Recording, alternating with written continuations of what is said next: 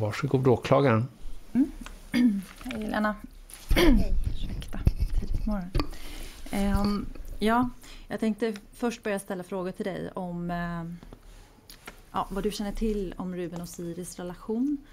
Uh, och sen går jag vidare in på uh, det du känner till om vad som händer den här aktuella kvällen. Mm. Och sen kommer det lite följdfrågor också. Uh, och um, jag tänkte så här. Um, när var sista, först vill jag bara fråga dig, när var sista gången du träffade Siri innan hon dog? Det var helgen innan. Okay. Det måste ha varit på söndagen då. Sen hände det på torsdagen. Mm. Och jag gick också igenom i sakframställan en hel del ehm, eh, nedslag i tidpunkter om eh, när deras förhållande inleddes och när de flyttade till Älta och så vidare. Stämmer de tidpunkterna på ett ungefär? Ja, jag tyckte de stämde. Och var, bara för att tydliggöra, var bodde Siri innan hon flyttade till Älta? Då bodde hon hemma hos oss eh, på Ekstegen i Solna. Och hon, är, hon har varit skriven där hela tiden. Eh, och vad, kan du berätta om vad du känner till kring eh, Ruben och eh, Siris förhållande? Hur var det? Berätta mig hur, när de träffades och hur det var. Ja, alltså för Siri, eller för oss som föräldrar så var det ju första pojkvännen som Siri på riktigt presenterade. Och, um, vi, var, vi var ju positiva och öppenhjärtade och hälsade Ruben hjärtligt välkommen till familjen. Så som Siris pojkvän. Mm. Och, och hon verkade uppriktigt väldigt förtjust och förälskad. Um, och Ruben fick vi ju inte så mycket bilder av i början mer än att det verkar bra och jag någon gång nämnde att jag tyckte att han var en svärmors dröm.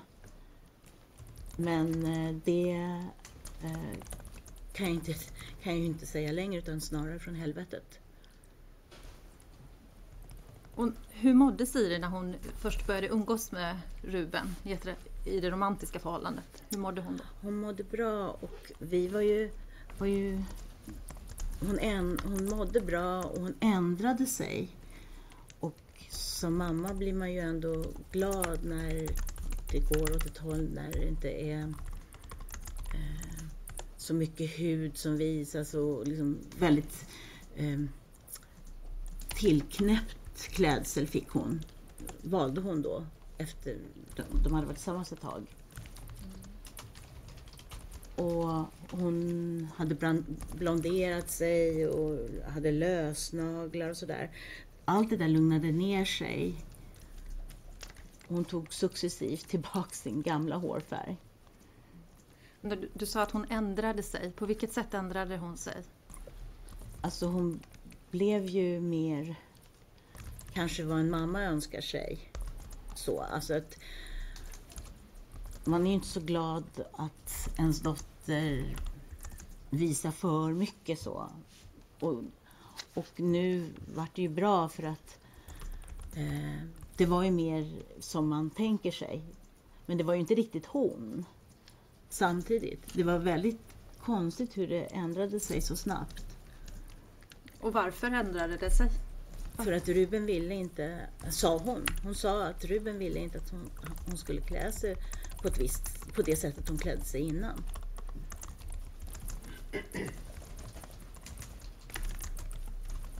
Och när sa hon det till dig?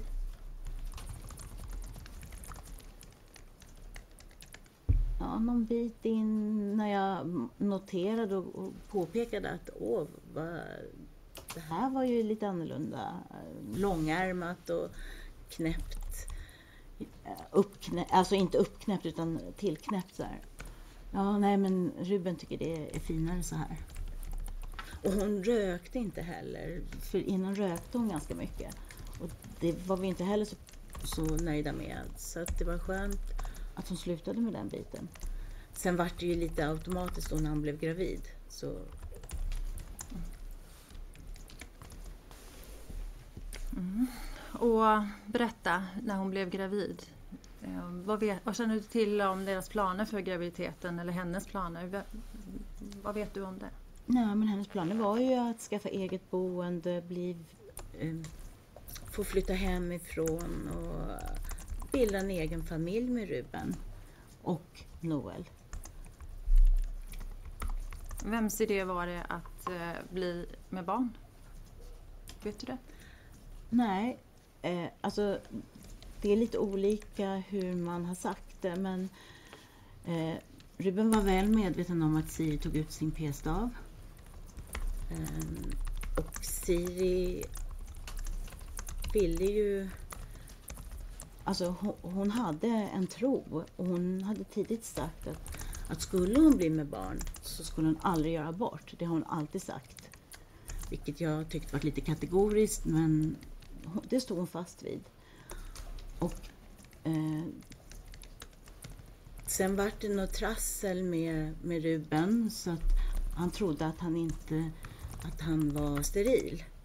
Och det var kring det där trasslet som det hände, att hon blev gravid. Så hon förstod inte själv att hon var gravid förrän de tog test. Men jag förstod det innan för att hon mådde illa och ja. Jag tyckte inte det var så konstigt. Mm. Du nämnde här att Ruben visste om att hon tog ut sin p-stav. Hur vet du detta? Det har Siri berättat Siri. själv. Och jag tror vi i samtal tillsammans när vi visste att Siri var gravid, att, att vi diskuterade det här att det var ju ingen hemlighet att Siri bara lurade ut, tog bort p-staven så, utan det här visste alla om. När du sa i samtal tillsammans, vilka var med i det samtalet? Nej, jag tror kanske att det bara var jag och Siri och Ruben. För vi kunde, jag är ganska rak så att eh, vi pratade om det här. Jag har för mig att det var i vårt... Vi har ett matsalsrum och jag kan nästan komma ihåg hur det satt. Mm. Och när var det i tiden när ni samtalade och det blev uppenbart för dig att Ruben visste om? När var detta i tiden? Det var precis när man hade... Alltså det måste varit ty- typ augusti... Det är 2020 vi pratar om. Ja, 2020. Augusti... Ja, det kan vara september också men... Sen sa du också att eh, Siri hade en tro. Vad menar du med det? Ja, att vi, vi i familjen är inte så religiösa. Men Siri var religiös på något annorlunda sätt. Ehm, hon, är inte döpt, hon var inte döpt. Eh, men hon sa att hon trodde på Gud. Och det... Ja. Ehm. Jag tror också att hon trodde på Gud på sitt sätt. Och I vilket sammanhang var det som hon berättade om att hon tror på Gud? Hon hade tatuerat ett kors på ena handen. Mm. Ehm, mellan tummen och pekfingermuskeln.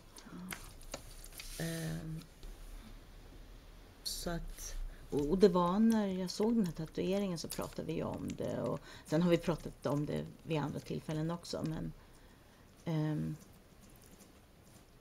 vi, eftersom vi andra inte tror på Gud så är det liksom lite svårt att, att förstå det. Ja, okej. Eh, och hur blev det sen mellan Ruben och Siri? eh, Efter att de hade fått veta att Siri var gravid. Hur blev det för dem? Nej, det blev ju riktigt illa. Alltså, Ruben ville ju verkligen inte till att börja med och försökte ju påverka Siri att, göra, att ta abort. Ehm, men Siri var, ganska, var väldigt orolig eftersom det här, och det visste jag sedan gammalt, att hon skulle aldrig göra en abort. Och jag tyckte det var konstigt att han inte hade förstått det. Så det finns ju, vi är ju i modern tid, det finns ju sätt att hindra att bli, få graviditeter. Så jag kunde inte förstå att han inte förstod det. Så jag trodde ändå att han var med på det på något sätt. På vilket sätt försökte han få henne att göra abort? Vill du berätta om ett exempel eller något? Ja, dels att han nötte ut henne med skrik och,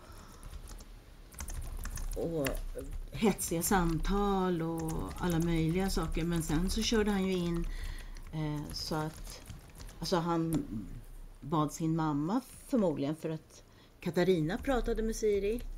Och Siri berättade att Katarina hade pratat med henne. Men att hon var, stod fast.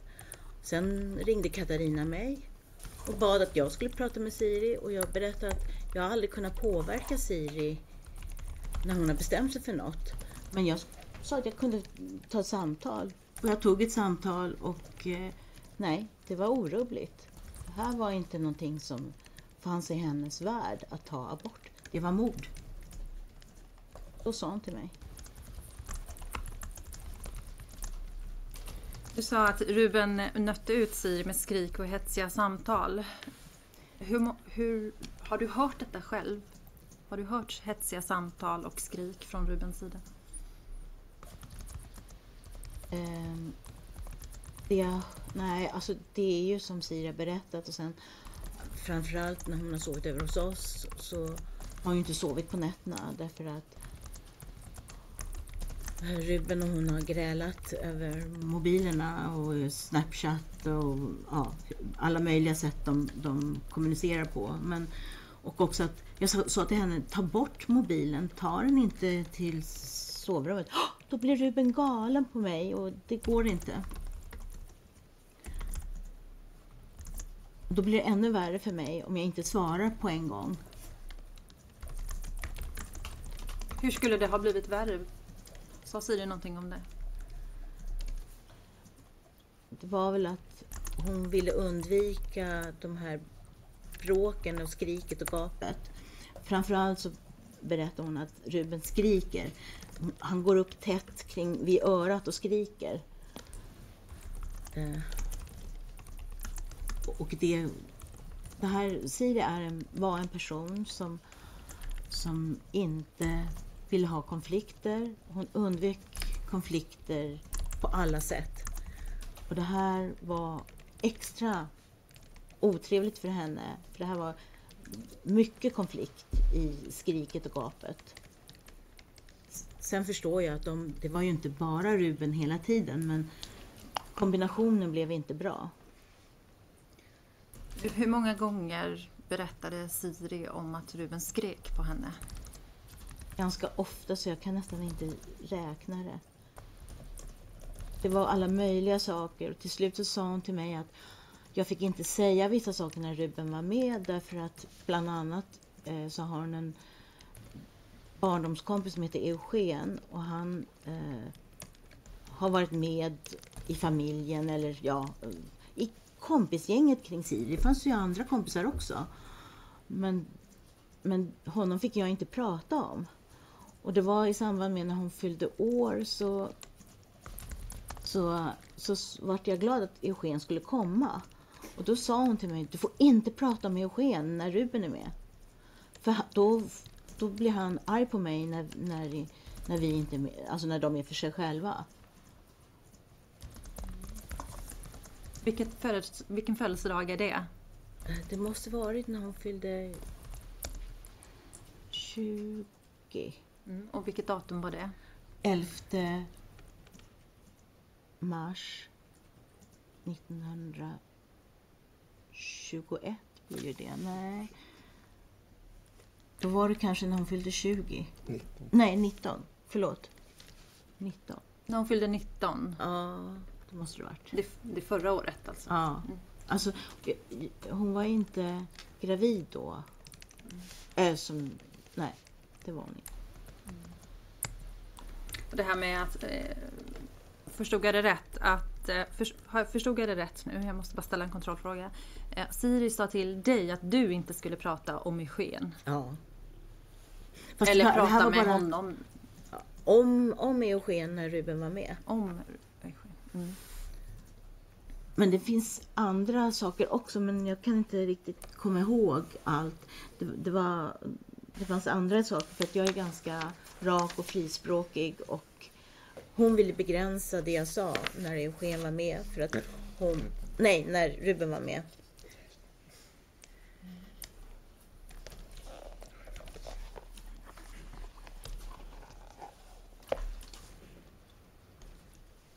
Mm. jag ställde ju en fråga till dig eh, om eh, huruvida du har hört honom bråka med Siri, eller skrika på Siri. Och då svarade du att det här var någonting som Siri berättade för dig och att du själv inte har hört. Stämmer det fortfarande? Förstod jag det rätt? Ja, alltså jag...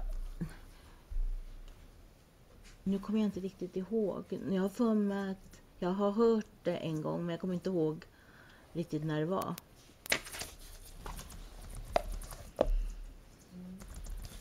Du har hört det en gång, men du kommer inte ihåg när det var? Ja, nej. Det går lite ihop allting, tyvärr. Mm. Mm. Men jag, jag, vet att när vi, det var jag som körde hem dem från BB. Mm. Och då var de, ingen av dem var på topp och verkligen inte Ruben. Mm. Och lilla Noel såg jag ju för första gången. Men eh, de var, de var väldigt osams kändes det som. Och jag, där, jag har aldrig sett Ruben på så dåligt humör. Mm. Eh, men då körde jag hem honom först till hans föräldrar och sen körde Siri, jag och Noel hem till Solna. Mm.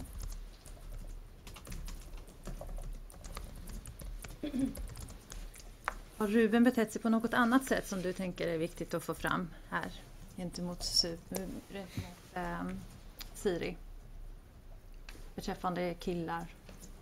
Nej, men det är ju, allt är ju enligt vad Siri har sagt. Mm. Om att, hur han vill att hon ska, skulle klä sig på ett speciellt sätt och vara på ett speciellt sätt. Och, uh, och hon berättar faktiskt så intimt kring att uh, han krävde ju sex på ett ganska respektlöst sätt. Hur menar du då? Nej, men, uh, förklara att uh, hur, hur ofta andra fick sex och att hon, det var, om de skulle hålla ihop så skulle hon leverera.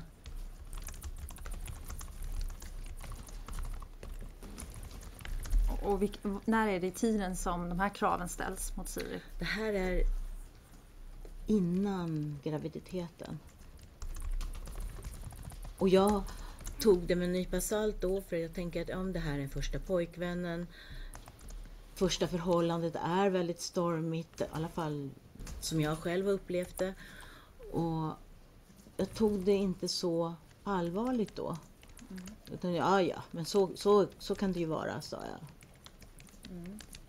Det är inte så mycket att bry sig om. Men så här i efterhand så, så vet jag att det var något hon berättade. Mm. Vet du någonting om huruvida Ruben har varit inne i uh, Siris telefon? Ja, det har hon. Hon, hon vågade inte. Eh, hon sa att när hon gick och duschade så, hade, så märkte hon att han hade varit inne i hennes telefon och raderat, tagit bort hennes killkompisar. Och även har jag hört från hennes killkompisar hur, hur det plötsligt bara blev tyst och de hade ingen, fick ingen kontakt utan förklaring. När skulle det ha skett? Att hon har duschat och Ruben varit inne i hennes telefon och arbetat där? Kanske nå, på våren där. Um, det måste varit på våren då. När hon hade fyllt 19. Undrar om det inte var i samband med det. Mm. När berättade Siri för dig om det?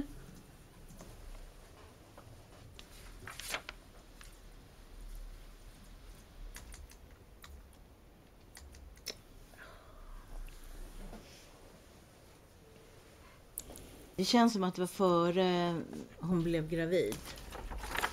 Mm. Men, ja, att, men när berättade hon för dig om händelsen? Um, jag kan inte säga exakt när, men det var innan graviditeten. Som hon berättade för Som dig? Som hon berättade det.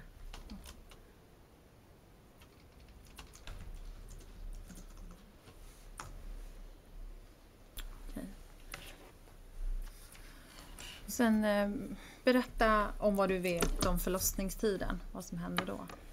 Att det var den värsta händelsen i hennes liv. Och hon, Siri ångrade sig så och sa att hade jag vetat det här så skulle jag ha gjort abort innan. Och att det berodde på att Ruben var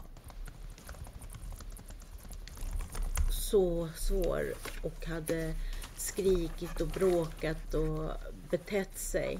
Och att det till och med en gång hade han hade slängt en macka i väggen för han var så arg.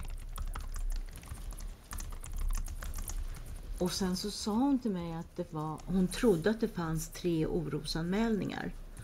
Men nu har det visat sig att det bara var två och de var båda från Danderyd. Ehm, det är möjligt att det finns fler. Så. Mm. Men eh, du, vad skulle han ha gjort? Han har varit arg på, i samband med förlossningen och vad skulle han ha gjort mer än att kastat en macka?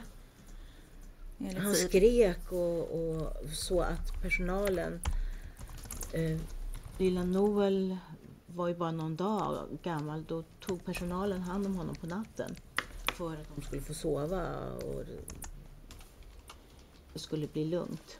Mm. Och jag har för mig att det var en två nätter som personalen tog lilla Noel. Mm. Sen var ju också att Siri var ju väldigt trött efter förlossningen. Mm. Vad hade han varit arg på? Hela situationen och framförallt att Noel var så ljus i hyn. Okej, kan du berätta mer om det? Han, han, Noel är inte lik sin pappa.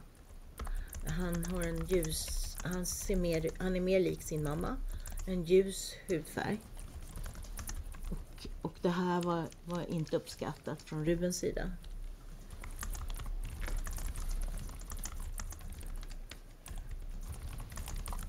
När fick du veta, när berättade Siri det här för dig? Direkt när vi hade lämnat Ruben. Du berättade att, äh, ju, att du hämtade dem från Danderyds, Danderyds sjukhus. sjukhus ja. Okay. Så sa du att ni lämnade Ruben någonstans. Var hos lämnade hans, honom? Hos hans föräldrar. Var det direkt från förlossningen? Direkt från förlossningen Och... körde vi till Gröndal där hans föräldrar bor. Och var tog Siri och bebisen vägen? De följde med mig hem till Ekstigen i Solna. Varför följde inte Ruben med sitt barn och sambo? Vet du det? Nej, men jag kan bara gissa att, att eftersom de var så osams, de var ju osams i bilen. Alltså det, ja, det var inte ett, lyckliga föräldrar som kom ut med sin nya bebis. Det var, det var ganska, jag har aldrig sett Ruben så på sånt dåligt humör. Hur var han i sinnet i bilen? Tyst och men, men liksom tyst, passivt aggressiv. Och hur bråkade de i bilen? Nej, de bråkade inte så mycket i bilen men det var en stämning i bilen som... Ja, de pratar ju nästan inte. Alltså Ruben pratar nästan inte. Jag pratar lite bara med Siri om hur det gick och sådär. Och... Men du körde, förstår jag Jag rätt? körde bilen. Ja, men hur fick du veta att Ruben inte skulle följa med er? Hur fick du veta att han skulle hem? De sa det. De sa det? Ja. Ställde du någon kontrollfråga kring det? Nej. För jag märkte att han var arg och jag tänkte att det här är lika bra att, att han får åka hem till sin mamma och pappa och sova ut. De, det hade varit extrema förhållanden också på BB för att i och med Corona och sen var det ju en specia, specialistmödravården så att de var ju inlåsta. De kunde inte kom, röra sig fritt utanför sitt rum. Och det lät som att de till och med om de gick på toaletten så var de tvungna att säga till. Mm.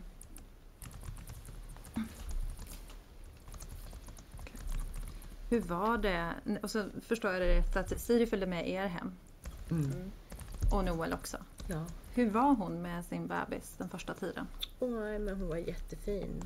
Hon, eh, hon, hon, hon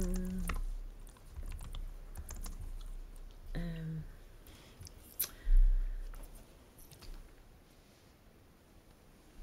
Alltså det var inget konstigt. En, en ung mamma. Jag tyckte, jag tyckte hon var, var lugnare än vad jag var när jag tog hem Siri.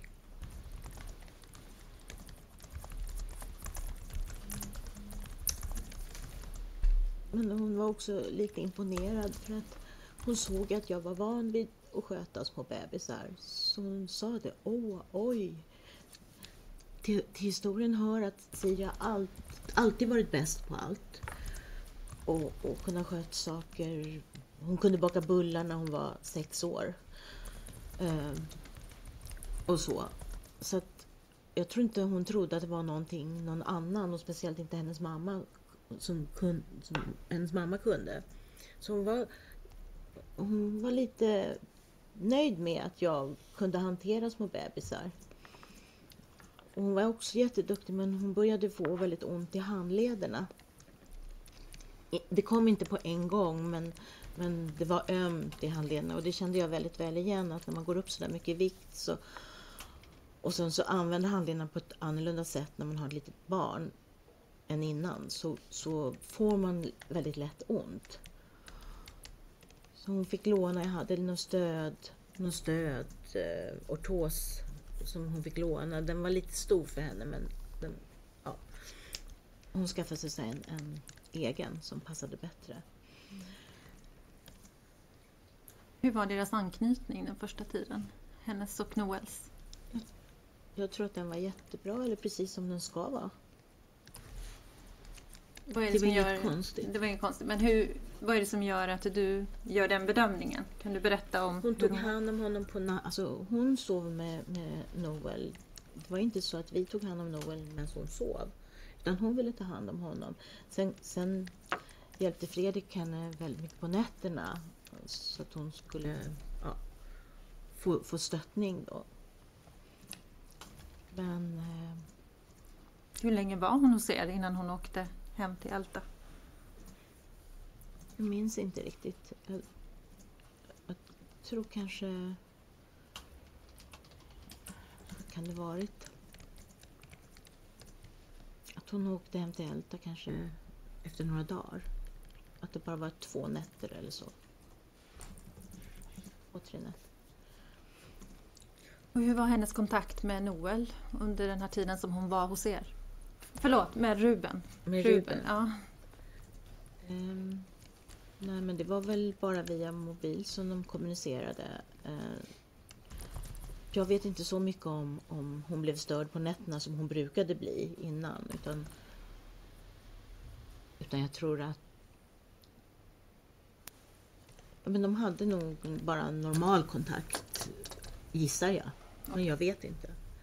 Men var han hemma hos er någonting under den här perioden? Direkt efter BB? Inte vad jag minns. Och hur kom det sig att hon till slut åkte till Älta med lilla Noel? Dels så, så sa vi att, att det var det bästa men också att hon, hon, först, hon ville ju det också. Men, men efter, efter att hon har varit i Älta ett tag så sa hon till mig att det var den värsta tiden det här med BB och att hade hon vetat att Ruben hade betett sig på det här sättet så skulle hon inte ha fortsatt vara tillsammans. Hon skulle inte ha fortsatt vara gravid. Utan hon skulle hon ha gjort slut och dragit. Och det här var efter att hon hade kommit tillbaka till Älta? Ja. Okej. Och vad hade hänt då? Det har varit... Hon sa till mig, Noel har inte när Noel har varit med mig och Ruben så har han inte haft en lugn stund. Det har skrikits och gapats hela tiden. Vem är det som har skrikit och gapat? Eh, primärt Ruben, men hon har väl försökt att se, prata emot också så att det har väl... Eh, eller... Siri sa ju att det var Ruben. Okej. Ja, det är viktigt att du skiljer på vem som säger vad också, Ja. och vad du tror. Ja, jag förstår. Så Siri sa till dig att det är Ruben som skriker när Ja. de befinner sig i Älta. Ja. Och med- Noel är då Noel. nyfödd. nyfödd. Och inte en stund tillsammans med sina föräldrar så har det varit lugnt, sa hon. Varför, varför inte då? För att Ruben har skrikit och gapat och det har varit bråk, sa hon. Och vad handlade bråken om då? Att Siri inte gav tillräckligt mycket uppmärksamhet till Ruben. Att Ruben inte gick före sitt eget barn utan uh, uh, uh. han ville att Siri skulle prioritera honom framför barnet. På vilket sätt då? Eh, kärleksmässigt och uppmärksamhetsmässigt. Vad sa Siri till dig om det? Att, att Ruben eh, krävde att hon skulle skapa tid för bara de två.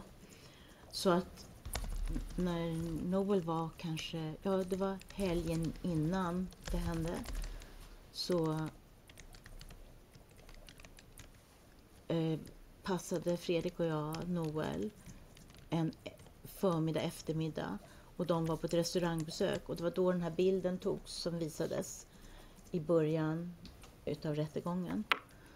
Eh, och när Siri kom hem så sa hon att det var den bästa dagen sedan Noel föddes. Mm.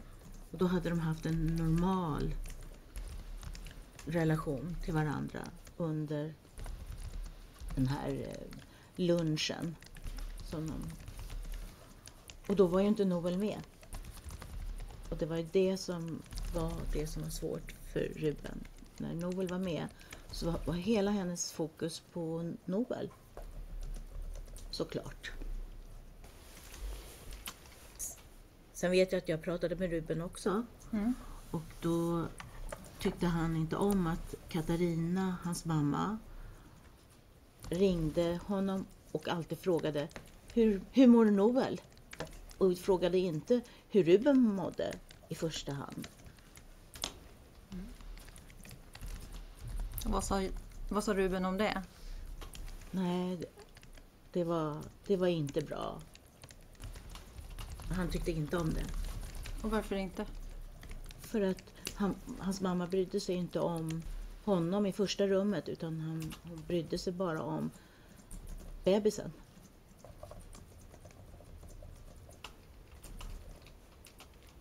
Det här någonting som Ruben har sagt till dig? Ja, det sa Ruben till mig.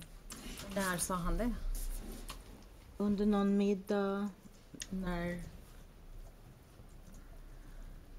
Eh, ja, det är inte så många helger. Men kanske första eller andra helgen efter det att Noel föddes.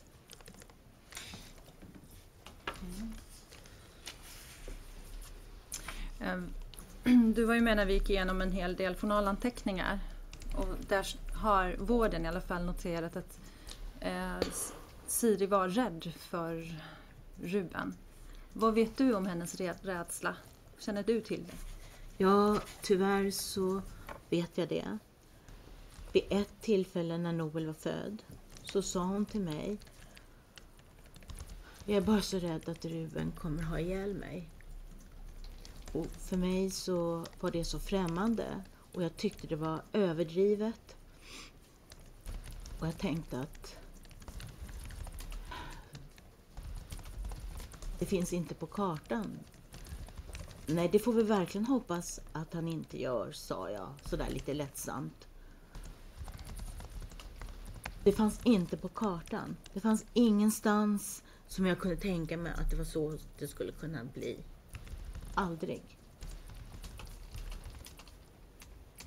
Varför tror du att hon använde de orden med att hon skulle dö motsvarande?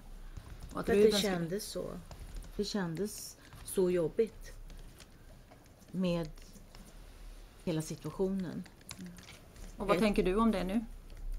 Ja, nu så tänker jag att, att det var illa att jag inte förstod då att det var så här. Jag tänkte att hon överdrev lite för det kunde, det kunde vara så ibland. Men det har ju varit saker som har hänt som gjort att jag, jag, jag är ganska lugn när saker händer. Och så även den här kvällen. Så håller jag mig ganska lugn för jag vill verkligen se fakta innan jag vet, vet vad som... Jag tänker inte reagera förrän jag vet fakta. Och lite var det väl så här också, att jag reagerade inte för att jag tyckte inte med, med den information jag hade att det var adekvat. Att Ruben skulle ha ihjäl Siri. Det... Ja. Så var det.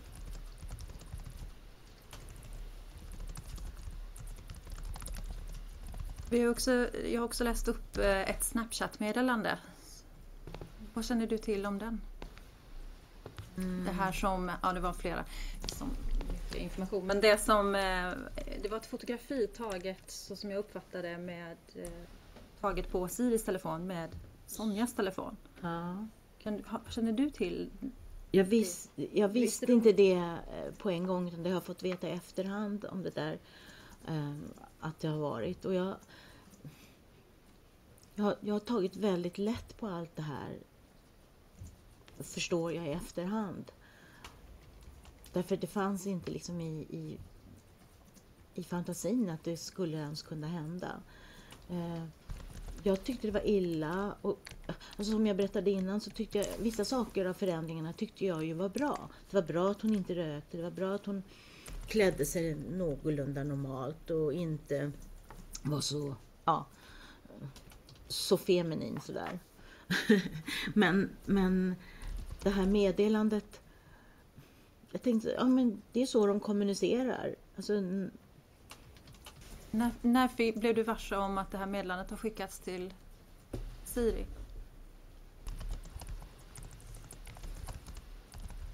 Väldigt sent jag veta det. Jag tror... Levde hon då? Nej, jag tror inte det. Okay, så du kände inte till det här? Nej. Och hur fick du reda på det? Var nog via Sonja och... Eh, så, ja, det var nog via Sonja som jag fick veta att hon hade det här med bilden. Mm. Och då, då tänker man ju genast att oj, var hon så rädd? För då, då allt som hon har sagt så här lite pyst lite här och där, det samlades ihop och så bara, men oj. Siri var väldigt duktig på att hålla, hålla en sfär så att man inte skulle förstå. Det skulle se bra ut utåt. Och ja, jag, jag hade tyvärr köpt det.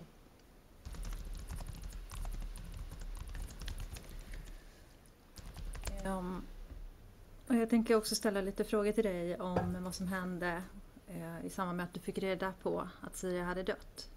Mm. Det går bra. Det går bra. Mm. Kan vi fortsätta? Ja. Mm. Ja, men kan du berätta vad som hände den här dagen, den 15? Den 15 hade, så... hade du någon kontakt med Siri innan? Nej, inte gruppsamtal eller någon hade ringt upp och hade på högtalartelefon och så satt vi andra i bilen, Fredrik och jag och Sonja tror jag. Eh, jag tror Sonja var med. Eh, och då pratade vi om att det här faderskapsbeviset och mm, det är två saker man skriver på när man inte är gift. Och att det hade ju inte Ruben skrivit under och då sa hon att hon trodde att det skulle vara klart men det ska ju bevittnas. Ja, sa jag, men det är ingen fara. Eh, på lördag, då, då kan vi bjuda över våra grannvänner. Och då kan ju de bevittna det. Så skick, kan du skicka in det sen. Det är ju jättebra. Bra. Och tänkte att vad roligt att han vill ta ansvar och ja, fixa det här. Men det var nog det sista vi pratade om. När du säger lördag, syftar du på lördagen efter? Efter, efter morddagen? Ja, så det här var kanske onsdagen eller tisdagen eller något sånt. Mm. Mm. Och sen eh, på torsdagen så går, tränar vi och så kommer vi hem. Vi gjorde lite ärenden innan och köpte en sak i butik och sen så kom vi hem innan åtta. Och allt verkar... Och vid åtta så brukar vi se på Efterlyst. Och det hade nog börjat precis. Då, då eh, ringer min mobil och det är Oves nummer. Och då har vi tidigare haft lite kommunikation, jag och Rubens pappa Ove, kring kontraktet, hyreskontraktet. Så jag tänkte att det kanske var något sånt. Men då var det Katarina. Och hon lät väldigt upprörd. Och så sa hon att eh, polis och ambulans, eller ambulans och polis är på väg. Eh, Siri har skurit sig i ansiktet. Ruben har inte gjort något, sa hon väldigt snabbt. Siri har gått in eh, i sovrummet och skurit sig i ansiktet. Och då tänker jag så här, jaha, skurit sig i ansiktet, ja men det är inte så farligt. Eh, det, det borde, och om ambulansen är på väg så, ja precis, ja men det, det låter väl rimligt. Eh, och sen eh, så säger jag bara till henne att ja, men, för Katarina är väldigt upprörd och så säger jag att ja, men det är väl inte så farligt det här. Vi vet ju ingenting. Jag tror Katarina sa då, ja men jag, jag sätter mig i bilen och åker i alla fall. Jag tänkte så här, men snälla rara. Eh, det här, va? din son är 23 år, ska du, vad ska du göra? jag försökte lugna henne och säga, ja, ja men okej, åk, åk iväg du så, så ser vi. Sen ringer hon igen och då, då, och då har det väl gått en timme kanske. Och så säger hon så här, ja det står ambulans och poliser här och, och det är journalister och en fotograf. Och då, då blir jag jätteorolig. För då förstår jag, om ambulansen fortfarande står där, då har Siri inte kommit till sjukhuset. Eh, och sen så, vi avslutar ganska hastigt. Och Fredrik hittar då om ett, ett våldsdåd i Älta. Och då förstod vi direkt det det här måste handla om Siri och Ruben. Eh, och sen går det inte så lång tid, kanske en halvtimme eller någonting så, så kommer en privatbil upp på vår... Vi bor vid en vändplan, det är väldigt ensligt, det kommer aldrig några bilar där annars. Och då sa Fredrik, ja ah, nu kommer polisen. Så då fick vi budet. Och då tänker jag att kanske Rubens föräldrar vet redan då eftersom hon var där. Så då skickar jag ett sms bara att vi vet. Och då ringer Katarina tillbaks. Och hon bara, ja, ah, Siri lever inte längre, sa jag. Och snabbt avslutade samtalet. Sen han... Sen... Ja. Det var vad som hände. Polisen kom ju och förhörde mig så att det var efter mitt förhör tror jag det var som jag sa det här då.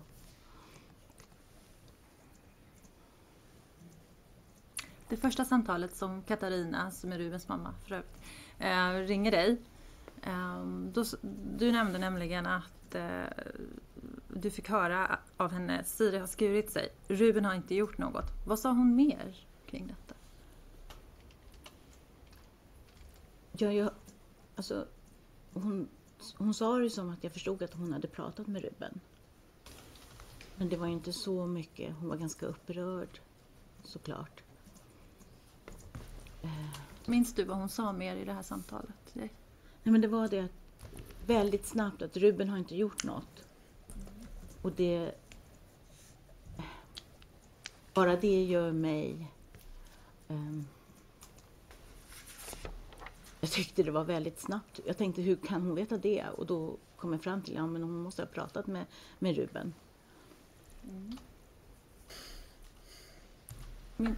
Jag förstår att det är svårt att komma ihåg exakt vad som sades här men det har hållits ett förhör med dig mm. om vad du berättade om det här samtalet som du och Katarina hade. Mm. Eh, och eh, förstår jag det rätt att du inte minns exakt vad hon sa i det här samtalet? Nej, inte exakt riktigt. Då får jag läsa upp vad...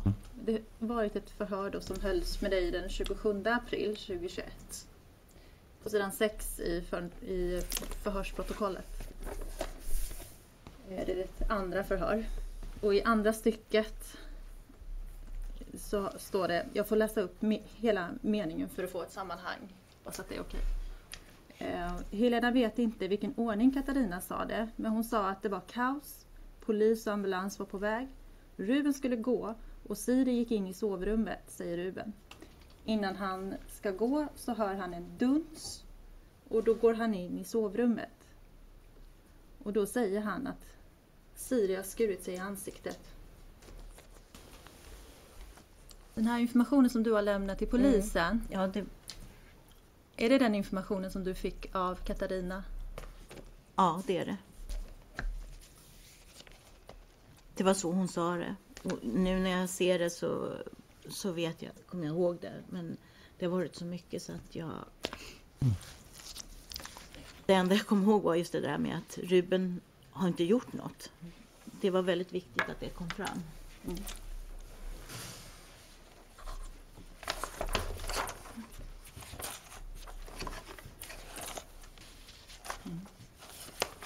Jag stannar där, jag har inga fler frågor. Mm. Hur känner du, vore det lämpligt med en paus eller? Vi kanske har hållit på en och en halv timme så det kanske ändå är lämpligt att vi tar, vi tar, fem, vi tar 15 minuters paus. Beträdes tur, vi sätter på inspelningen. Varsågod.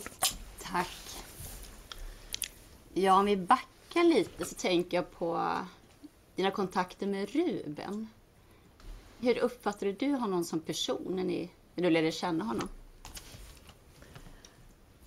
Eh, det var ju i relation med andra killar som jag har sett i Siris närhet så, så, så uppfattade jag honom som en vanlig, trevlig, väluppfostrad kille.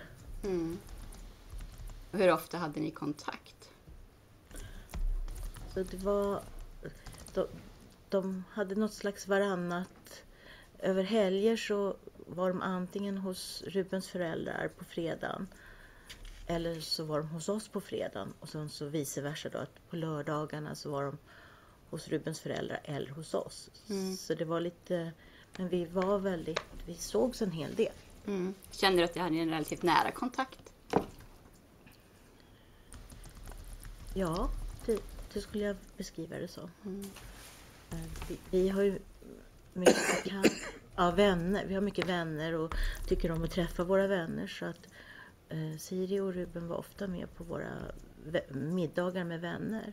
Mm. Hur var han då?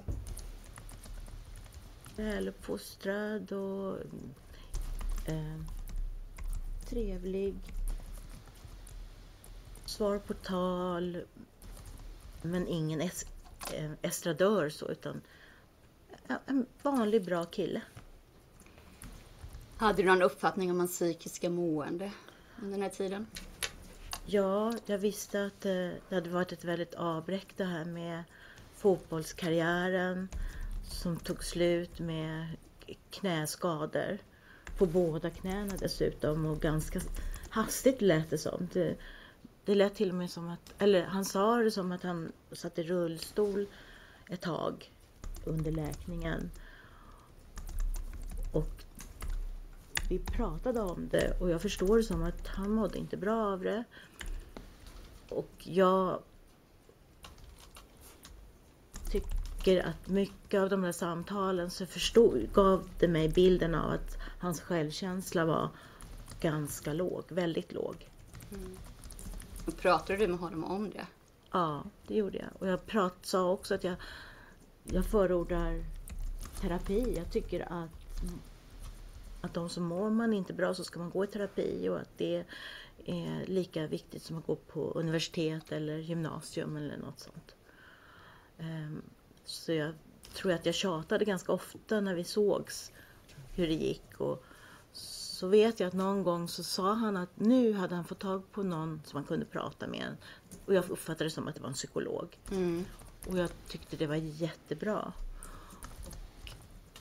I, I förra julen så gav jag både till Siri och Ruben två böcker om självkänsla. Eh, och för att inte... Jag visste att var, man var... Siri hade ju sagt till mig att jag skulle vara känslig och, och tänka mig för när jag gjorde saker mot Ruben. Så att, då tänkte jag att jag ger dem båda ett paket med de här böckerna om självkänsla så att inte han kände sig utpekad. Men, men Siri hade också nytta av de här böckerna. Men det var mycket framförallt Ruben som jag kände eh, skulle ha glädje av att förstå vad självkänsla var och hur man bygger det och ja, så. Hur fick du den uppfattningen att han har en låg självkänsla? Alltså oftast, vilket både är bra men baksidan, det, är, alltså, det som är bra då är att Ruben är väldigt välvårdad och noggrann med sitt utseende och kläder och sånt. Eh, och det, det är, kan vara ett tecken på, på låg självkänsla. Men också i samtal, hur man pratar och... Jag kan inte säga exakt tydligt. Det här och det här är det, mm. varför Ruben har dålig självkänsla. Men det var en känsla du fick? Ja, ett intryck jag hade mm. av Ruben. Att... Och jag tror vi pratade lite åt det hållet och det var det som var grunden till varför jag tyckte att det var synd att han inte gick i terapi. För att hitta sig själv och hitta något nytt. En, en, hans identitet var väldigt mycket fotbollen. Och vi såg honom ibland trixa lite och alltså fantastisk bollkontroll. Och, men sen kanske inte någon kontroll, känsla av att vara duktig och, och kunna saker utanför fotbollen. Okay. Mm. Och så nu går det till Siri. Du berättade på åklagarens frågor de första dagarna hur du upplevde Siri som mamma. Men hur de här, de här fyra veckorna då som hon han var mamma, hur upplevde du henne då? Men det var ju en förändring. Hon, hon, hon blev vuxen. Det var kul att se. Och förnuftig och det där omnipotenta som jag berättade om förut i förhöret. Eh, alltså att man vet och kan allt i hela världen och är bäst. Det, det tonades ner av en annan trygghet. Mm. Som, som, som kändes mycket mer äkta. Att, ja, nu, nu var hon mamma. Och hon var så glad för att hon inte var någon tonårsmamma. För hon hann ju fylla 20 precis innan. Mm. Och hur upplevde hon Ruben som pappa? Jag tror att bortsett från bråket och skriket och sådär, men när Ruben var med Noel och hade honom på bröstet och, så tyckte hon att han var fin med Noel. Mm. Men sen det här med att sätta sig själv i första rummet och inte sätta sitt barn i första rummet. Det, det det tyckte hon inte om. Pratade ni någonting om hur, att, huruvida hon skulle vara kvar i relationen efter Noel kom? Eller? Ja, hon, då när hon eh, sa det här om att hon var rädd för att han skulle ha ihjäl henne. Då, då frågade jag väl vidare och, och då fick jag uppfattning om att hon hade hon tänkte sig att lämna honom. Men inte jättetydligt, för Siri var en otroligt lojal person. Så samtidigt så var det väl att hon tampades med sin lojalitet också. Mm. Men hon insåg ju också det här med att Noel inte hade fått en enda lugn stund med sina föräldrar. det var hon jätteledsen för.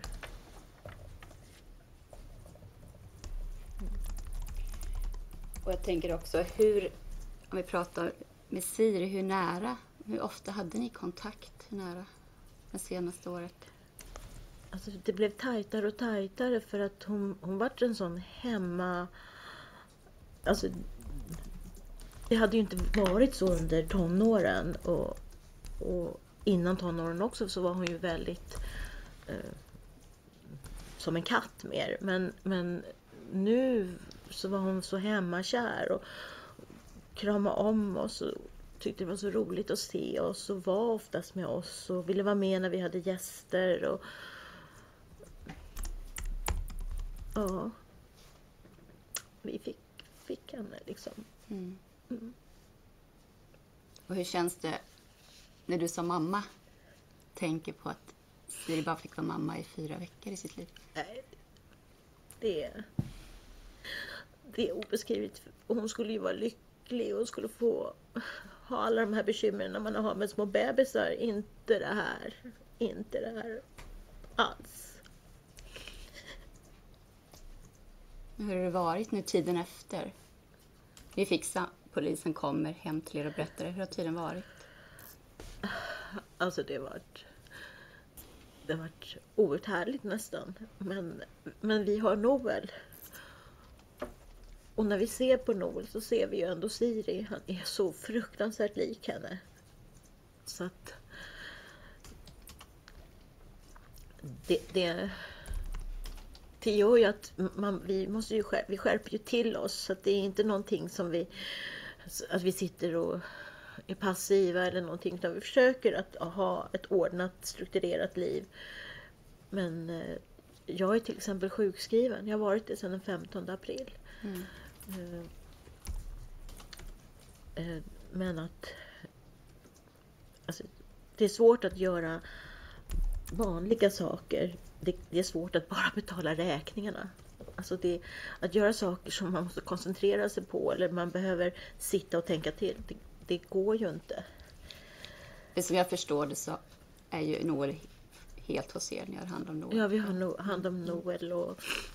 Känner du att ni har kunnat börja bearbeta er sorg, eller hur? Nej, egentligen inte riktigt. Utan det börjar ju egentligen här och nu. I den här rättegången så, så kan vi ta tag i det. Mm. Eh, men och för hans skull så, så försöker vi ha det så normalt det går. Tack. Någon fråga från advokat Hedda Grassman? Ja, tack. Jag tänkte på det, Helena, när ni åker ifrån BB, när du har varit där och, och hämtat Ruben och Siri och Noel. Och du känner den här stämningen och, och de ska inte åka hem tillsammans alla tre. Hur, tänker du någonting där liksom då? Hur... Jag tänkte att det var skönt, att det var, att det var bra. För att jag, jag förstod att det inte hade varit bra där inne men inte riktigt hur illa det var. Mm. Och de var så pass bestämda så att jag, jag tänkte jag är bara chaufför. Mm. Jag, för då har de precis blivit föräldrar och, och de har ja. den här första tiden så att säga. Och det var ju väldigt likt för att när Siri föddes så var det på Danderyd också. Och då körde vi också den här rondellen och det här. Och, men då var ju Fredrik och jag där tillsammans så att jag tänkte på det. Mm. Vad annorlunda det blev. Mm. Mm. Och Sen har du beskrivit lite grann kring Siri och eh, Noels kontakt, den här kontakten som de hade så att säga under de här veckorna. Eh, beskrev hon någon gång eh, när hon då hade sagt till dig att, att han inte hade haft en, en lugn stund egentligen när de var tillsammans som föräldrar, hur, hur det skulle påverka Noel på något sätt. Ja, hon var jätteorolig för det. Mm. Och, um, och framförallt var hon ledsen. Hon var väl uppriktigt ledsen över att inte ha kunnat gett honom en bra start. Och hur snart kommer Noel till er efter den 15 april?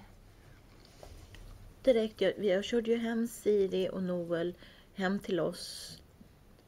Nej, 15 april. Ja. Ja, förlåt. Eh, eh, 15 april. Han kom någonstans vid midnatt, tror jag. Okej. Kanske strax innan midnatt. Mm. Och då var det två stycken från Nacka kommun, socialarbetare, som kom. Eh, och lämnade honom. Och då satt han i bilstolen Mm. och sov. Och då sa de att han verkar ha sovit sig igenom allt. Och sen dess har ni haft Noel? Sen dess har vi haft Noel hela tiden. Mm. Och vi går till samma BVC som Siri gick till med Noel för att få kontinuiteten. Eh, det ja, vi får ju åka då. Vi hade kunnat valt i Solna men nej. Det, jag tyckte det var viktigt att ha kontinuiteten. Och, Mm. eh, och de är väldigt förstående. Så de har ju historien också på BVC. Mm. Och nu var ju Noel eh, bara fyra veckor när, när han förlorade sin mamma. Ja. Eh, och nu är vi ju några månader senare. Eh, skulle du kunna beskriva Noel lite grann så att vi vet vem han är? Noel är en, en väldigt öppen och intresserad kille. För att vara så liten så, så är han väldigt sökande efter kontakt och att se den, de som är i rummet. Och rum, han tar in allt. Ehm, han, han är väldigt lättsam på ett sätt. Alltså, eh, jag har ju bara haft flickor innan men eh, han äter och sover och så. Men eh, det andra som jag inte är van vid är att han är otroligt fysisk. Han rör sig mycket och han, han ställer sig upp. Han kan stå upp. Han kan inte riktigt gå ännu men det, det känns inte som att det är så långt bort. Och han kryper väldigt snabbt. Och, och det har jag inte heller varit van vid. Att jag har inga, inga av flickorna kröp. Men Noel han kryper jättesnabbt. Okej. Och så är han glad. För det mesta när han är mätt och så, så är han en glad kille. Och så är han lik Siri. Han är otroligt lik Siri.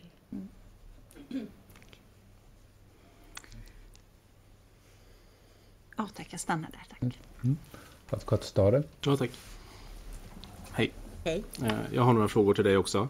Och eh, bara liksom, som utgångspunkt så ska jag nämna att jag är här i, i min professionella roll. Bara så att du förstår det. Det kan komma någon fråga som du uppfattar som känslig eller så. Och det får vara så eh, helt enkelt. Det, det är så det funkar i en rättsprocess. Så att du vet. Det är inget personligt. Eh, Du har ju berättat lite på ditt målsägandebiträdes eh, frågor eh, vilken kontakt du hade med, med Ruben och att ni, som jag uppfattade dig, hade en, en god kontakt eh, i tiden innan här. Är det riktigt? Ja, jag uppfattar det som god. Och, och var det någonting så att säga mellan er som, som ni kunde relatera i så att säga som gjorde att er kontakt var, var bättre? På något sätt skulle du säga? Ja, eh, därför att jag också är adopterad. Jag kom till Sverige när jag var åtta månader. Och eh, Ruben är ju också adopterad och vad jag förstår så kom han när han var sex månader. Så jag vet hur det är att vara adopterad. Och han är ensambarn och jag är ju också ensambarn. Så det var någonting som gjorde att ni, ni fann varandra, kan man uttrycka det så? Ja, jag, jag tyckte det. Ehm, och du har ju beskrivit eh, dina intryck så att säga av Ruben och, och som jag förstod det, fotbollen var en del av hans identitet och när den togs ifrån honom så, så tappar han självkänslan som jag har förstått det. Är det riktigt? Jag kände inte Ruben när han var på topp med fotbollen eller under rehabilitering och så. Utan han var väl färdigrehabiliterad när Sir och han lärde känna varann. Eh, Och, och, vad var dina intryck så att säga, av, av det du såg? Dina intryck av Rubens känslor för, för Siri? Och det att sammanfatta på något sätt. Eh, jag vet att han tyckte väldigt mycket om Siri. Och gjorde sitt yttersta när det var julafton eller födelsedag att hitta något som han trodde Siri tyckte om. Eh, så om den typen av omtanke såg jag. Berättade Siri om, om, om hur hon uppfattade så att säga, Rubens känslor för henne? Och så sa hon någon gång att hon trodde att han älskade henne eller använde, hon kanske inte använde de orden i förhållande till tror, det. det kändes inte som att hon tvekade över att han inte älskade henne. Sen var det inte något som hon kanske sa. De tyckte uppriktigt mycket om varandra. Så uppfattar jag det. Mm. Och sen har du beskrivit då dina, dina, liksom, dina intryck av, av Rubens mående. Upplever du att det skedde någon förändring i hans mående så att säga under tiden som förhållandet fortgick? Ja, jag tror att ju mer jag lärde känna Ruben så förstod jag att han inte mådde så bra. Och, och var det någonting så att säga som kunde du och jag förstår om det inte går, men, men, hade du någon egen uppfattning om vad det kunde bero på? så att säga? Alltså... Jag, jag såg den här eh, eh, svaga självkänslan. Och, och, om vi går över till, till Siri, eh, återigen, jag, jag, jag, förstår att det här kan vara svårt. Eh, men du berättade ju om en episod där, där Siri hade sagt till dig att jag är rädd för att han kommer slå, slå ihjäl mig. Och, och då berättar du då hur du, och det kan ju om någon som inte känner dig och din relation till Siri kan man ju nästan uppfatta det som lite kyligt att reagera så som du, du, du berättar att du gjorde. Men, men kan, går det att förklara för oss, att säga, finns det någon bakgrund till varför du reagerar så? Du, du berättade bland annat att jag tänker inte reagera förrän, förrän jag vet fakta. Mm. Alltså, har det någonting med Siris problematik att göra? Eh, tidigare problematik eller? Eller, eller i mitt yrke. Det, det beror på hur man ser det. Men, eh, Nej, men jag har också gått i terapi. Så att jag förstår att inte reagera för mycket på känslor utan, utan ta reda på vad som verkligen är. Och i mitt yrke så försöker jag att inte bli lurad. Så att eh, där är det också väldigt faktastyrt. Och då när, någon, när, när en person som står mig så nära som säger sig att ah, jag, tror, jag är rädd att han ska ha ihjäl mig. Då tycker jag i mina öron så låter det just överdrivet eftersom jag inte någonstans kan se, jag har inte sett Ruben slå Siri, jag vet den här, de här eh, eh, kontroverserna, att, man, att de bråkar och att Ruben skriker mycket, det vet jag. Men, men utifrån hur du kände Siri, eh, du var inne på det någon gång när du spekulerade i att ja men Siri hon kan nog byta ifrån också eller något liknande uttryckte du. Ja. Vad är din uppfattning där? Har du någon uppfattning om, om så att säga om Siri var en, en, bra match med Ruben om jag uttrycker mig så givet hans dåliga självkänsla eh, som du har sett? Och, och alltså, det är deras bådas självkänsla som är missmatchen. Annars så tror jag egentligen att om de och det var därför jag tjatade så med Ruben att han skulle gå i, i terapi. Jag tjatade på Siri också att de skulle gå i terapi. Eh, och, få, och reda ut och hitta vilka de själva var. Då, då hade det här problemet inte varit ett problem. Mm. Men, men, om jag säger så här återigen. Jag, jag, förstår att det här är jobbigt att prata om någon som avlidit och dessutom sin, sin dotter. Jag, jag fattar det, alla fattar det. Men men, kunde hon, kunde Siri, eh, kunde hon retas? Kunde hon trigga igång eh, omgivningen? Ja, det är klart. Alltså det kan, speciellt att hon, hon var väldigt begåvad. Så då är det ju lättare också att vara Att hitta rätt knappar att trycka på? Ja, precis. Att förstå vad man, hur man ska, retas. Men, eh, men i det så är hon också väldigt konflikträdd. Så att hon undviker ju, hon undvek att göra så. Oftast för att eh, hon vill inte ha bråk. Och tidigare i hennes liv, kunde, kunde, kunde det förekomma bråk då i relation till er i familjen? Och, för, som, för vissa, viss personlig problematik hade hon med diagnoser och så som jag förstått det. Ja, fast det är ju bara en diagnos. Mm. Det är ADHD. Eh, det här med att hon de misstänkte att hon var bipolär, men hon fick faktiskt aldrig den diagnosen. Utan det fanns en misstanke och som sen avskrevs när hon blev äldre. Eh, men att det är klart hon, ja. Så att, eh, ja det har varit, det var en utmanande tid. Det var jättesvårt och hon och jag drog verkligen inte alltid jämnt. Vi hade väldigt mycket svåra duster. dels, vi var båda väldigt starka. Och då är det inte så lätt. Och sen så är det ju någonting med mamma-relationen också. Mamma-dotter-relationen som gör att det, eh, det blir svårt. Och, och, det att hon medicinerade tidvis också, påverkade det hennes eh, humör i, i någon utsträckning enligt din uppfattning? Ja, det var ju väldigt hämmande för då blev hon ju väldigt jämn i humöret och inga toppar varken glädje eller sorg. Medan sen under graviditeten så var det ju var hon väldigt glad och, och sen så var det tyngre när det var tungt. Kunde det vara liksom ja, höga toppar och, och djupa dalar? Ja, det var ju så. Det visar ju de här journalanteckningarna också på att eh, och det var ju det som den där medicinen som hon lät bli hjälpte till att klippa liksom. Så när man tog bort den så ökade liksom svängningarna? svängningarna. Ja. Mm. Men samtidigt så hade hon ju väldigt mycket hjälp av hormonerna att vara gravid. Så att jag tyckte inte att det var inte några djupa bottnar som det var när hon var tonåring för många år sedan. Och då var jag riktigt orolig. Jag, var, jag alltså nu under graviditeten måste jag ändå säga att hon, hon mådde bra. Alltså, de här djupa dalarna var inte så djupa alls. Så upplevde du det? Så upplevde jag det. Mm.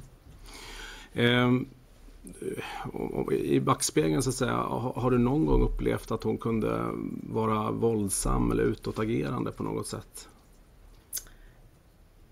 In, inte egentligen direkt. Alltså det, hon har ju varit eh, som jag sa en utmaning när hon var tonåring och, och mindre faktiskt när hon var yngre. Men våldsam. Eh, det beror på vad man jämför med. Men någon enstaka gång vi har... Och jag har också varit vid ett tillfälle var jag inte snäll mot henne men det är oftast ja, jag har bett om ursäkt för det. Och, så att, och det var ganska länge sedan. Och innan jag lämnar det med, med våldsam, det beror ju på vad man lägger in i det begreppet naturligtvis. Men, men kunde hon liksom vara, kunde hon vara fysisk? Kunde hon göra någonting fysiskt mot omgivningen? Alltså slå i väggar eller, eller, eller till och med slå någon så att säga? Inte så mycket hemma, där har vi inte haft det. Men jag vet att hon att det har varit lite så på andra ställen. Mm. Men inte, och där, då har inte jag varit med. Nej, jag förstår. Utan du har fått återberättat då i efterhand? Ja. Jag förstår. Okay. Sen så har det väl varit också innan de visste det där med bipolaritet och det och hur de skulle sätta medicinerna. Så gav de henne någon medicin som hon blev skogstokig av. Men då var det ju under ordnade former så att de visste ju vad de gjorde antar jag. Jag förstår. Ehm, och hur var det efter att barnet eh, kom? Eh, såg du någon förändring i, i Rubens mående då? Du har ju berättat om den här... Eh... Träffade inte Ruben Nej. så mycket när, när Noel kommit. Jag tänker om Siri har berättat någonting? Ja, ja, ja, det vet vi om. Men jag menar om du undrar om jag själv ja, har sett. Så har jag inte riktigt sett mer än frågor om, om, om man kan älska ett barn och alltså liksom lite djupa frågor så. Mm. Men jag... Och BB-tiden, hur många dagar var de på BB? Minns du det ungefär? Var det tre, fyra, fyra dagar kanske. Var det här mitt i Corona eller att man inte Ja, fick, man, man, var, man fick inte lämna rummet eller? Nej, man fick inte läm- lämna rummet och man fick inte ta emot besök eller Och något. de var helt ensamma med varandra och ett nyfött barn helt enkelt. Så var det. Tror du det bidrog också till att det blev som det blev? Jag vet ju att, att det var jättejobbigt för dem båda. Ehm.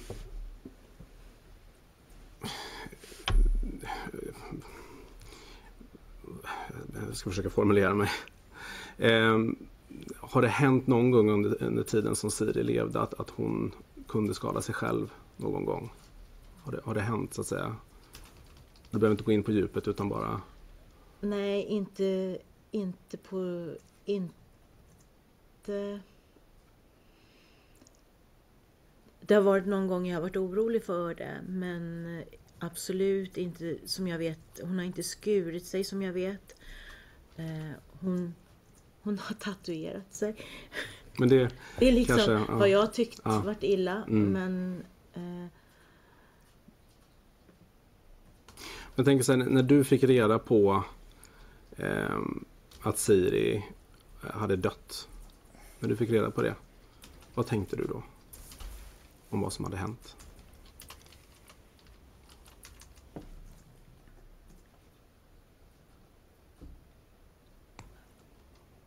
Jag tror att pusselbitarna då när hon sa till mig att jag är rädd för att han ska ha ihjäl mig. Så tänkte jag bara så här, nej. Nej. Det var inte en överdrift.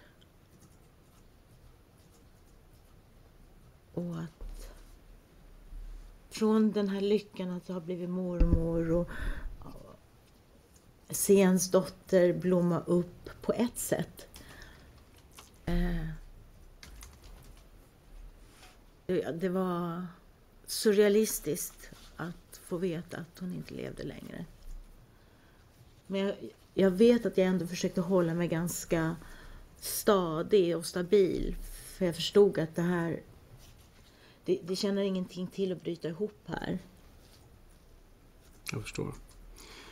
Ehm, I, I det här förhöret som, som åklagaren läste ur lite grann också så har du uttryckt dig lite annorlunda på det här temat. Och det kan vara att tankarna ligger olika olika i tiden. Ja. Så jag ska be att få läsa upp det och sen får du kommentera det. Ja. Ehm, och det är tingsrättens aktbilaga 75 sidan 8, ett förhör som hölls med dig den 27 april. Ja. På andra stycket ovanifrån på sidan 8 så står det antecknat så här. På fråga vad Helenas tankar var när hon fick veta att Siri inte lever längre så svarar Helena att hon vet då att det är antingen hon och Ruben och Helena ser alternativen att antingen har Ruben gjort något eller så har hon gjort, gjort något själv eller så har båda gjort att det har blivit så här att de har bråkat och båda gör det.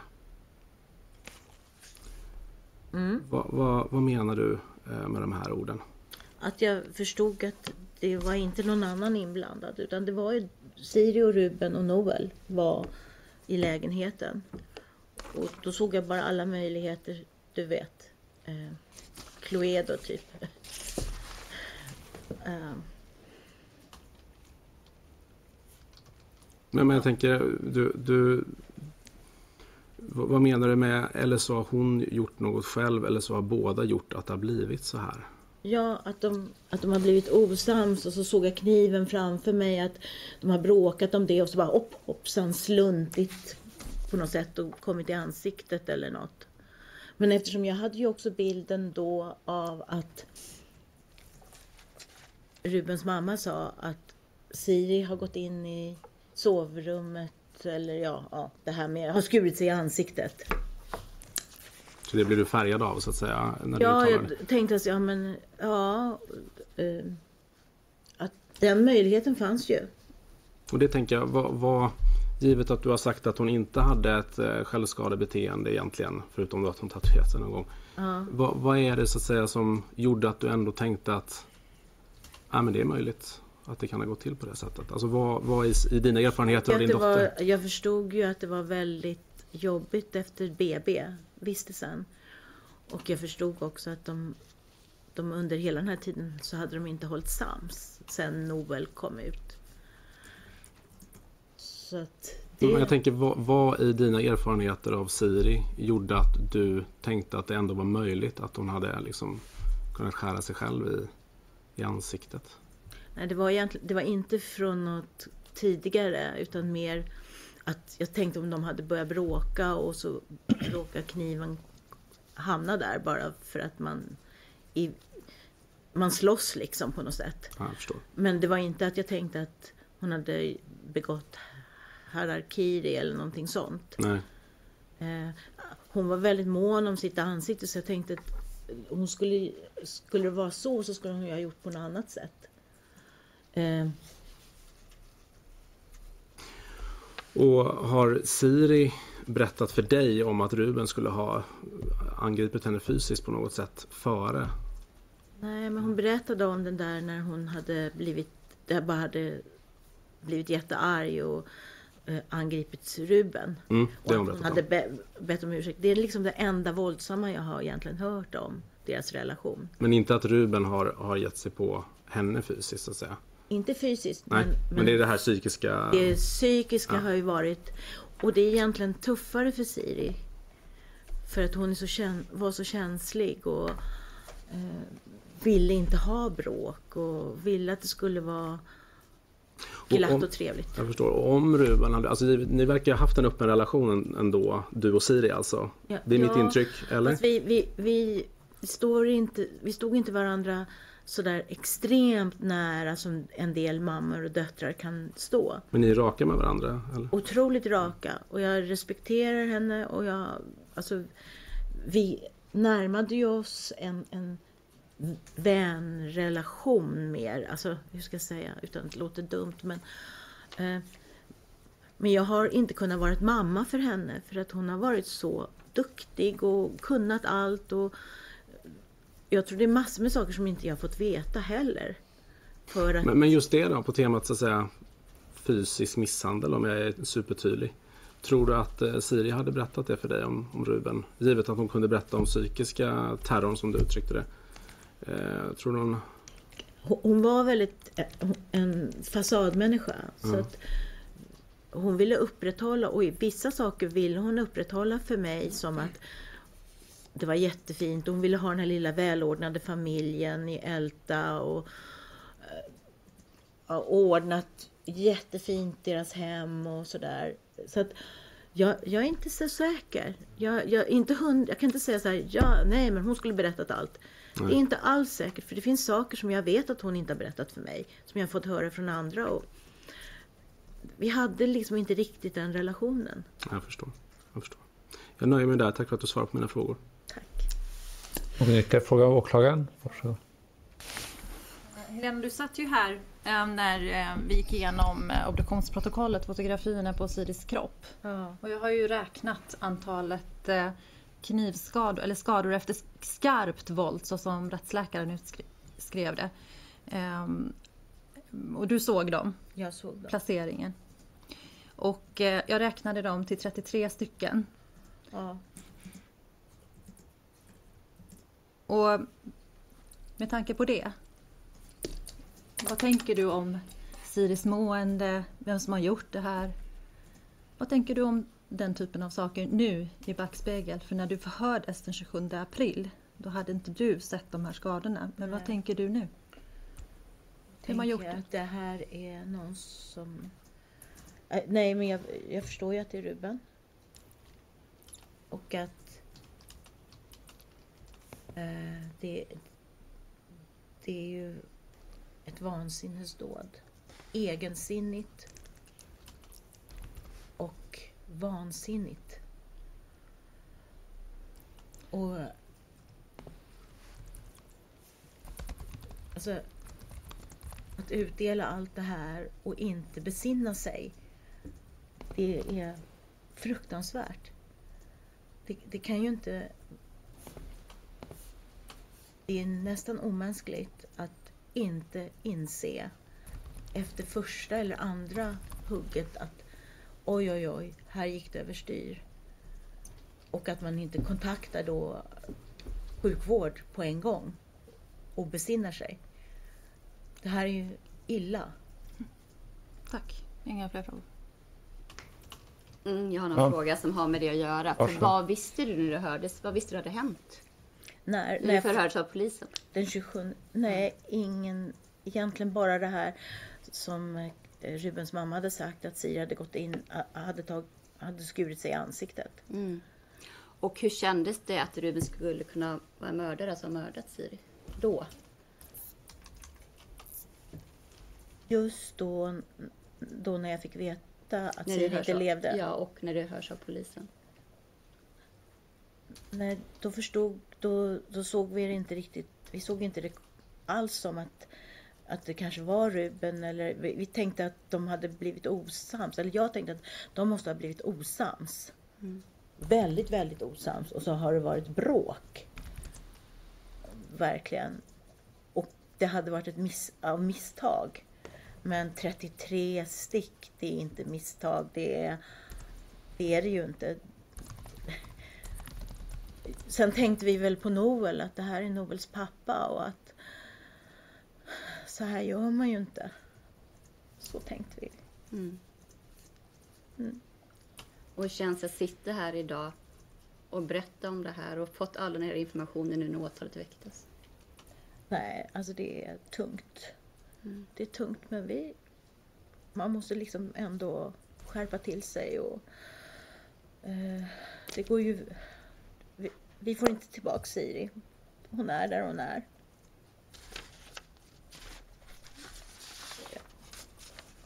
Tack, inga fler frågor.